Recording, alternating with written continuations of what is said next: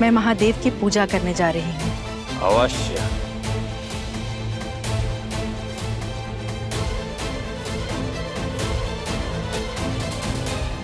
ये कन्या कौन है जो लंकेश रावण की कुटिया से बाहर आ रही है?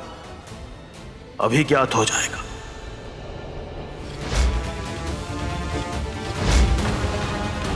लंकेश!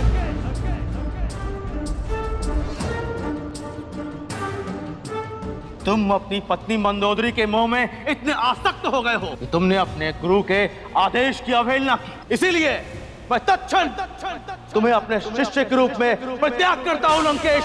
परित्याग करता हूँ। अरे वाह इतनी सुंदर डिब्बिया। यदि ये डिबिया खुल गई तो वो बालक भी बाहर आ जाएगा जो इसमें बंद है। और यदि ऐसा हुआ तो सबके समक्ष मेरा भेद खुलना निश्चित है। रुक जाओ बालक। इसे खोलने का प्रयास मत करो। लाओ आचार्य जी ऐसा क्या है इस दिव्या में जो आप बालक को खोलने नहीं दे? यदि ये बालक इस डिबिया को खोल देता तो अभी इसके प्राण संकट में आ जाते।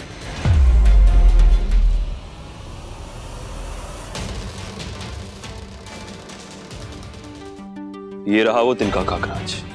ये किसी का लंबा केश है? किसी के नहीं काकराज।